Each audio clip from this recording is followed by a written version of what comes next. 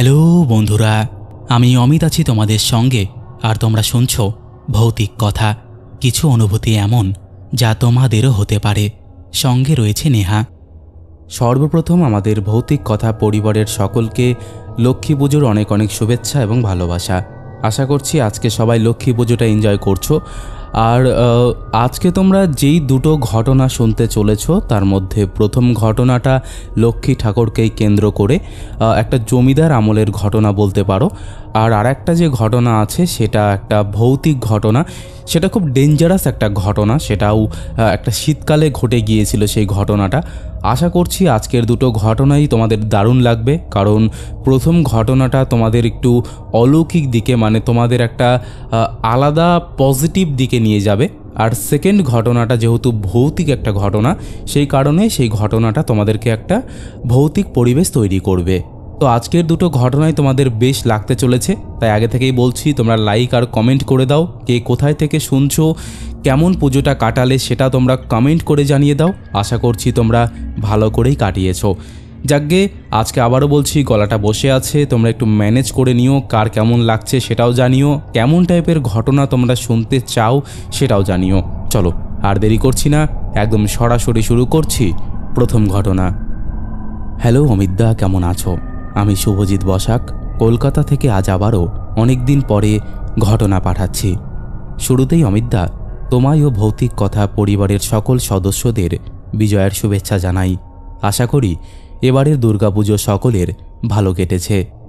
এবারের ঘটনাটি আমার কলিগ গৌরবের বংশের একটি ঘটনা যা সংগ্রহ করে এবারে পাঠাচ্ছি। ঘটনাটি বেশ চমকপ্রদ, তাই মনে হলো এটি এই পরিবারের সকলের সাথে ভাগ করে নেওয়া যাক। সেটিকে আমি একটু গুছিয়ে সকলের বোঝার সুবিধার্থে এখানে পাঠালাম। এবারে সরাসরি ঘটনায় আসা যাক। গৌরবের মামার বাড়ির কোজাগরি লক্ষ্মী পুজো নিয়ে একটা ঘটনা আছে। সে যতবারই অরিত্র মামাকে ঘটনাটা বলতে বলেছে, ততবারই মামা পরে বলব বলে আর বলেনি। গৌরব এখন চাকরি করে, মামারও বয়স হয়েছে, তবে বেশ ভালো করেই এখনও পুজোটা হয়। মামার ছেলে ঋষভও শুনেছে, পুজোকে ঘিরে কোনো ঘটনা আছে, তবে কি সেটা সেও জানে না। এবারের পুজোয় দুই ভাই মিলে অরিত্রকে চেপে ধরলে সে বলে, বেশ বেশ, বলব। তবে এই ঘটনা এই বাড়ির বাইরে যেন না যায়, এটা দেখিস কিন্তু। সম্পূর্ণ নিজস্বতায় রাখিস। দুজনেই সম্মতি দেয়। পুজো শেষে রাতে তিনজন মিলে ছাদে বসে। এদিন অরিত্র মামা রাত জাগে। আজ গল্প বলা আর শোনার নেশায় সবাই বুধ হয়ে আছে। সে বলতে শুরু করল, কোজাগরি লক্ষ্মী পুজোটা আমাদের পাঁচ পুরুষের পুজো। আমাদের এই পূর্বপুরুষ কালিকাচরণ রায়, যশোরের জমিদার হরপ্রসাদ চক্রবর্তীর বাড়ির দাওয়ানের কাজ করতেন। এক রাতে তিনি স্বপ্নে দেখেন যে দুজন মহিলা তাকে ডাকছে। তিনি তাদের পিছু পিছু গেলে একটা বিশাল ঘরে এসে হাজির হন। ঘরটায় একটা প্রদীপ জ্বলছে। সেই আলোতেই তিনি দেখেন ঘরে অনেক মোহর গয়না পড়ে আছে, সাথে আছে সুগন্ধি খাবার। তিনি সেই সব একবার ছুঁয়ে দেখতে যাবেন। এমন সময় দেখতে পান ওই মেয়ে দুটি ভয়ঙ্কর দুই নারী মূর্তিতে রূপ নিচ্ছে। এরপরে কালিকাচরণ সেখান থেকে ছুটে পালাতে গিয়ে ভয়ের চোটে ঘুমটা ভেঙে যায়। এই স্বপ্ন তিনি বহুবার দেখেছেন আর উত্তরের খোঁজ করেও পাননি। জমিদার হরপ্রসাদ ছিল নেশাগ্রস্ত পরকীয়ায় আসক্ত। প্রতি রাতে তার নতুন নতুন মেয়ে মানুষ চাই। এভাবেই চলতে গিয়ে একবার এক ডাকাত দলের মেয়ের হাতে সে এসে পড়ে। শুধু তাই নয় সে যে ডাকাতদের খবর সরবরাহ করত, তা জানা যায় এক রাতে। হঠাৎ বাড়িতে ডাকাত পড়লে সবাই পালাতে পারলেও জমিদার ধরা পড়ে।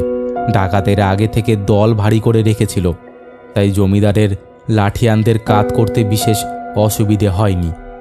এরপরে বাড়ির মেয়ে বউদের গয়না লুট করা হলো, আর তখনই তখনই জমিদার জানল যে ঘরের সমস্ত ধন সম্পদের ঠিকানার খোঁজ একটু একটু করে সে দলে পৌঁছে দিত। ডাকাতরা সব লুট করে জমিদারকে নিঃস্ব করে চলে গেল। যাওয়ার আগে বাড়ির মেয়ে বউদের বাইরে সরিয়ে এনে তার শখের রাজপ্রাসাদের অনেকটাই আগুন ধরিয়ে দিয়ে চলে গেল। জমিদার এতই লম্পট ছিল যে কেউ তার দুর্দিনে এগিয়ে পর্যন্ত এলো না। সে হতভম্ব হয়ে বসে থাকলে কালীচরণ এসে তার পাশে দাঁড়ালেন। জমিদারের অবস্থা তখন ভিখারি দশায় পরিণত হয়েছে। কালিকাচরণকে দেখে সে চুপ করে রইল। এরপরে কালিকাচরণ হরপ্রসাদকে নিয়ে তার ঘরে এসে উঠলেন। জমিদারের বাবা মা, পিসি, কাশিবাসী হয়েছেন অনেক দিন আগে। তারা এসব কিছুই জানতেন না। হরপ্রসাদও তার সারা জীবনের পা বুঝতে পেরে হিমালয়ে তাদের বংশ পুরোহিত রামানুজের গুরু বিষ্ণুপদ ভট্টাচার্য মশায়ের কাছে চলে যাবে, এটাই স্থির করেন। তার চরিত্র দেখে সবাই পালিয়ে গেলেও কালীচরণের প্রভুভক্তি তাকে বিশ্বাস জুগিয়েছিল। তাই যাওয়ার আগে সে তার শিয়ালদহের আদিবাড়ি ও সামান্য কিছু অর্থ তার নামে উইল করে দিয়ে যায়। সাথে এটা বলেছিল যে তার ভুলেই আজ এই সর্বনাশ হয়েছে। কালিকাচরণ প্রথমটা না বুঝে চুপ করে থাকায় সে অবস্থা বুঝতে পেরে বলেছিল, আমাদের আদিবাড়ি শিয়ালদহের দাসপাড়ায়। আমি এই জমিদারি আমার দাদু অর্থাৎ আমার মায়ের বাবা হরিনাথ সেনের সূত্রে পাই।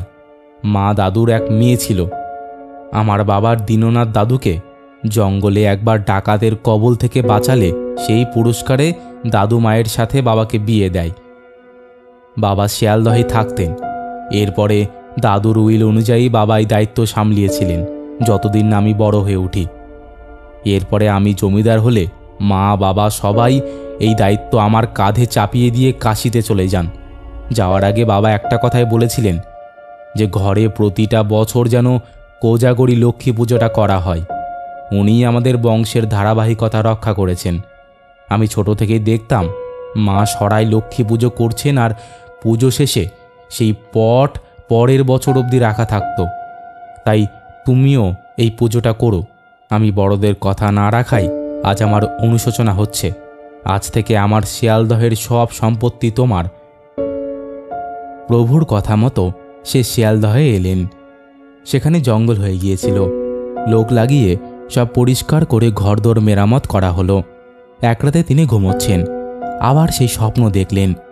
এবারে ঘুম থেকে উঠে বসতেই প্রায় শেষ হয়ে আসা পিদিমের আলোয় দেখলেন, একজন লাল শাড়ি পরা মেয়ে হন হনিয়ে ঘর থেকে বেরিয়ে গেল। অথচ ঘর বন্ধ, তবে এলোই বা কী করে বা গেলই বা কী করে? তিনিও দরজা খুলে পিছু নিলেন, কিন্তু কেউ ছিল না। তিনি একটু চিন্তায় পড়লেন।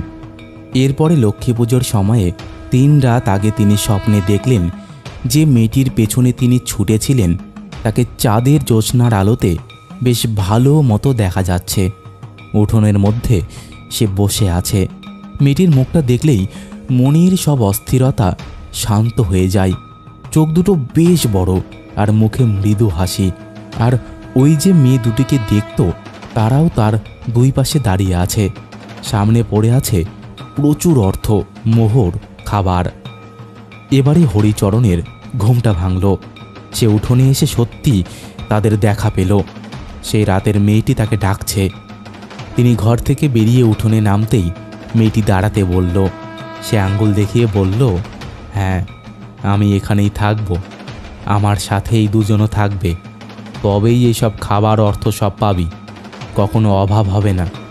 তবে অবহেলা দেখলে স্বপ্নে যেমন এদের দেখেছিস, সেভাবেই ওরা ভাগ্যে জুড়ে যাবে।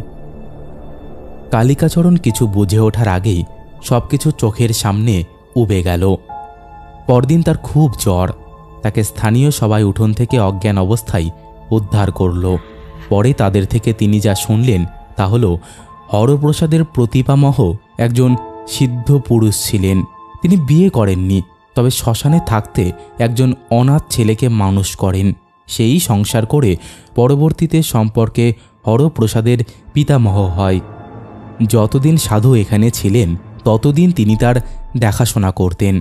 পরে তাকে সেই সাধু তার বাসযোগ্য কুঠির ও আশেপাশের জমির দখল দিয়ে মহাকালেশ্বরে চলে যান। তার আগে হরপ্রসাদের পিতামহকে বলে যান যে তিনি একজন সিদ্ধায়ী মানুষ, তাই সিদ্ধিলাভ করার আগেও পরেও তান্ত্রিক উপাচার সবই পালন করে এসেছেন। সেভাবেই শক্তির আরাধনা করেছেন। আশ্বিনের পূর্ণিমায় ও কার্তিকের অমাবস্যায় তন্ত্র মতে তান্ত্রিক লক্ষ্মী পুজো করেছেন। তান্ত্রিক সরস্বতী কালী সাধনা সবই তন্ত্রমতে হয়ে এসেছে। গৃহীদের এসব উপাচারের নিয়ম নেই, তবে কোজাগরি পুজোর সময়ে মাটির সরাই লক্ষ্মী দেবীকে পদ্মের ওপরে এঁকে তার দুপাশে দুই সখী এঁকে পুজো করে। সেই সরাকে পরের বছর অবধি রেখে দেওয়ার বিধান দেয়। কারণ জানতে চাইলে বলেন যে শক্তি পুজোয় দেবী সাধনা মানে প্রেত জগতের আহ্বান। দেবী মায়া বলে ওদের সৃষ্টি করেছেন, মানুষের ভাগ্য নিয়ন্ত্রণের মাধ্যম হিসেবে। প্রেতশক্তি পঞ্চভূতেই থাকে, তার মধ্যে মাটিতেই তার ঠিকানা হয়, তাই মাটি হল প্রেত মাধ্যম। আর তান্ত্রিক লক্ষ্মী যক্ষিণী সহচরে পূজিতা হন। যক্ষিণী একধারে ধন ও অন্যধারে খাদ্যের প্রহরী। এদের তান্ত্রিক রূপ গৃহীদের ভয় ধরাতে পারে, আর উনি শ্মশানী পুজো পেয়ে তৃপ্ত হন। তাই গৃহীমতে লক্ষ্মীর শান্তরূপ ও দুপাশে দুই সখী সহযোগে পুজো করা হলে সেই উপাচার পালন করা হয়, আর তিনি ধন সম্পদের আগে ফসলেরও দেবী। খাবার যেমন থালায় খাওয়া হয়, তাই এক্ষেত্রে মাটির সরাই প্রতিমায়কে তার কাছে খাবারের অভাব পূরণ করতেও আরাধনা করতে হবে।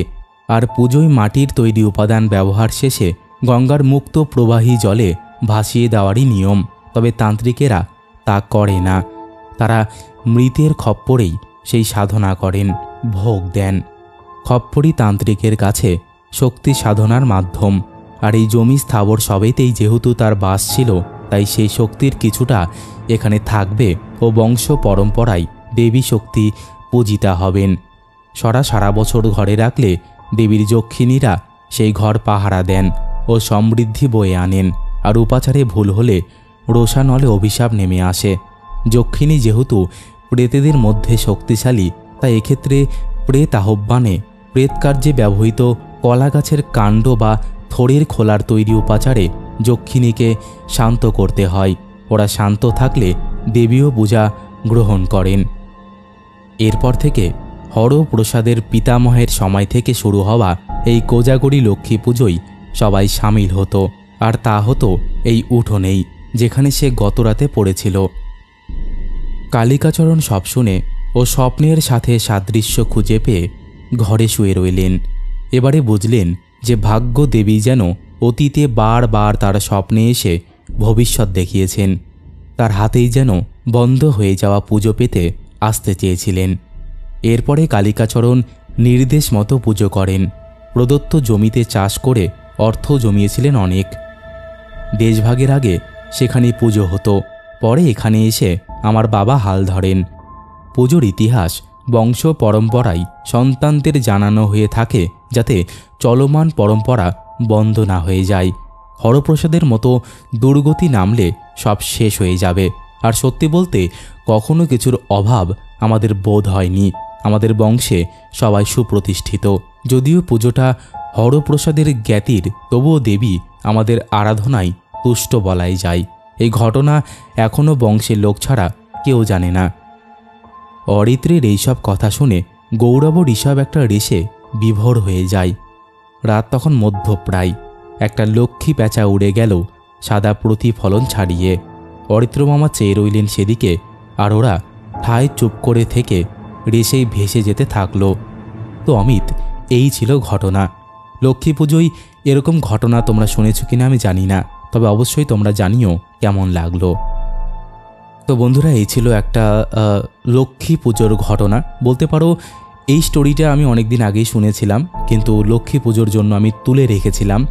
তোমরা লক্ষ্মী পুজোর এরকম ইতিহাস জানতে কিনা আমি জানি না, বাট ইনি আমাদেরকে সত্যিই নতুন নতুন অনেক কিছু শিখিয়ে দেন। তার লেখার মাধ্যমে আমরা বহু কিছু জানতে পারি। তিনি আমাদের প্রতিনিয়ত অনেক কিছু জানিয়ে যান। আগেরবার তোমরা তারাপীঠের একটা ঘটনা শুনেছিলে? সেখানে যে মাকে ছুতে হয় না এরকম একটা বিষয়? মাকে ছুলে কি বিভৎস পরিস্থিতি নেমে আসে? সেটা যারা এখনও শোনোনি, তারা অবশ্যই শুনে নিও। তারাপীঠে গিয়ে ভুলেও সেই কাজটা তোমরা করবে না। তাহলে তোমাদের জীবনেও নেমে আসতে পারে প্রচণ্ড অশান্তি। এখানে যেমন মা নিজে চেয়েছিলেন তাদের বাড়িতে আসতে তাকে স্বপ্ন দেখিয়েছিলেন। সত্যি, এরকম ঘটনা শুনলে চোখে জল ভরে আসে আর মনটা কেমন ভারী হয়ে যায়। আজকে লক্ষ্মী পুজোর দিনে এই ঘটনাটা তোমাদের কেমন লেগেছে অবশ্যই তোমরা কমেন্ট করে জানিয়ে দাও। এই ঘটনাটা প্রথমে শোনালাম যাতে তোমরা একটু পজিটিভ ফিল নিতে পারো। কিন্তু এইবারে তোমরা যেই ঘটনাটা শুনবে, সেটা খুবই ডেঞ্জারাস সেই ঘটনাটা শুনে তোমাদের গায়ের লোম দাঁড়িয়ে যেতে পারে। তোমরা আজকেও এবার ভয় পেতে চলেছ। তো আর একদম কথা বাড়াচ্ছি না, সরাসরি চলে যাচ্ছি। পরের ঘটনাতে। আমাদের সকল শ্রোতা, বন্ধু ও দাদা তোমাকে জানাই শারদীয়ার সাদর শুভেচ্ছা ও অভিনন্দন। আবারও তোমাকে আমার জীবনের একটা নতুন শিহরণ জাগানো রক্তহীম করা অলৌকিক ঘটনার বর্ণনা করছি। আমরা গ্রামের লোক, প্রধান জীবিকা, ধান চাষ। নভেম্বর ডিসেম্বর মাসে মাঠে ধান কেটে জমিতে জড়ো করা হয়। তারপরে গরু মোষের গাড়ি করে সেই ধান বাড়িতে নিয়ে আসতে মোটামুটি সাত আট দিন সময় লাগে। আর এই ফাঁকে কিছু লোক ওই ঠান্ডাতেও ধানের বোঝা চুরি করে নিয়ে যায়। তাই আমাদের ক্লাব থেকে সিদ্ধান্ত নেওয়া হয় যে আমরা গোটা আট নজন ছেলে সন্ধে সাতটা থেকে সকাল পাঁচটা পর্যন্ত মাঠের চারিদিকে মানে পূর্ব, পশ্চিম, উত্তর, দক্ষিণ মাঠে দুজন দুজন করে আটজন পাহারা দেব। মাঝখানেকেরই ব্যাপার। বিনিময়ে জমির মালিকেরা আমাদের ক্লাবকে বিঘা প্রতি এক মন করে ধান দেবে। আর তাই দিয়ে ক্লাবে একখানা বড় টেলিভিশন কেনা হবে এবং ফুটবল খেলার মাঠে মাটি দিয়ে মাঠ বড় করা হবে। আমরা সেই মতো ডিউটি আরম্ভ করলাম। আমি হোসেল, আমার সঙ্গে বাপি, নয়ন, সুমন, মণি ও অন্যান্য তিনজন মিলে ডিউটি গেলাম। সবার হাতে একখানা করে হুইসেল মানে বাঁশি, আর একটা করে টর্চ দেওয়া হলো। বিপদ হলে সবাই টর্চের আলো ফেলে একে অপরকে ইশারা করবে এবং মাত্র তিনবার হুইসেল মারবে। আরও কথা ছিল যেমন রাত বারোটার সময় সবাই ক্লাবে এসে টিফিন করে ফের ডিউটিতে যোগদান দেওয়া হবে। সেদিন বিকেলে বাপি ক্লাবে এসে জানালো, ভাই, আমার শরীরটা একটু খারাপ বুঝলি। ডিউটিতে যাব, তবুও যাব কিন্তু একটু দেরি করে মানে ওই রাত আটটার সময়। মাঝে সামনে বড় কবস্থানটা আছে না? ওখানে দেখা করে নেব ভাই। আমরা সেই মতো ডিউটি গিয়ে বাপির জন্য অপেক্ষা করছি। রাত আটটা বেজে গেল, তবুও বাপির দেখা মিলল না। তখন একা একা আমার ভয় করতে লাগল, মনের মধ্যে নানানবিধ খারাপ চিন্তা আসতে শুরু করল। এমন সময় হঠাৎ দেখি সামনে একজোড়া চোখ জলজল করছে, আর কীরকম একটা গোঙানির আওয়াজ আসছে। আমি হাতের টর্চের আলোই ওই জন্তুর মুখে ফেলতেই জন্তুটা একটা বিকট আওয়াজ করে আমার দিকে এগিয়ে আসতে লাগল আর আমি ভয়ে ভয়ে পেছোতে লাগলাম। কিন্তু আলো তার দিকে জ্বালিয়ে রাখলাম। ওই আলোতে আমি সবসময় জন্তুটার মুখটা দেখার চেষ্টা করছি, কিন্তু মুখটা কোনোভাবেই দেখতে পাওয়া যাচ্ছে না। চোখ দুটো টর্চের আলোতে আরও জল করতে লাগল। হঠাৎ পেছনে কারোর সাথে ধাক্কা খাওয়াতে আমি পড়েই যাচ্ছিলাম। সে অবস্থায় একখানা হাত আমার দিকে এগিয়ে এলো। ঠান্ডা খসখসে গলায় বলল, খুব ভয় পেয়েছিস না? তখন আমার গলা শুকিয়ে কাঠ। সামনে দাঁড়িয়ে বাপি সাপের মতো ফোঁস করে আওয়াজ করে হেসে বলল, আর কিসের ভয়? আমি বাপি বাপি। তখন আমার মনে কিছুটা সাহস ছিল। আমি বাপিকে সামনের দিকে ইশারা করে বললাম, ও, ওটা কিরে বাপি বলল, কোথায়? আমিও সামনের দিকে দেখি কিছুই নেই। এমতো অবস্থায় অন্যান্য দিক দিয়ে টর্চের আলো এসে পড়ে। নিয়ম অনুযায়ী আমরা ক্লাবে যাই চা খাওয়ার জন্য। সেদিন সবার জন্য ছিল পিঠে পুলি, খেজুরের গুড় এবং গরম চা। চা খেতে গিয়ে দেখি বাপি একাই তিনজনের খাবার খেয়ে ফেলল। বলল, আমি কবরস্থানের দিকে এগোচ্ছি তো রায় তখন দেখি এক অবাক করা কাণ্ড। বাপির গায়ে শুধু পাতলা একখানা কালো শার্ট ব্লু জিন্স আর পায়ে চপ্পল, যেখানে আমরা এই ডিসেম্বরের রাতে জ্যাকেট, ক্যাপ পরেও থরথর করে কাঁপছি আর ও এইসব পরে ঘুরে বেড়াচ্ছে। যাই হোক, যেমন তেমন করে চাটা খেয়ে ডিউটিতে গেলাম। তো গিয়ে দেখি, বাপি কবরস্থানের একটা দিন কয়েক আগের কাঁচা কবরের ওপর চিত হয়ে শুয়ে আছে। আমি ডাক দেই, এই বাপি, কি ব্যাপার তোর? ভয়টয় করছে না নাকি? বাপি বলে, আরে ভয় করবে কেন? একদিন তো সবাইকেই কবরে যেতে হবে। আমি তখন বলি, ঠিক আছে, যা তুই কবরে যা, আমি একটু মাঠের দিকটা ঘুরে আসছি।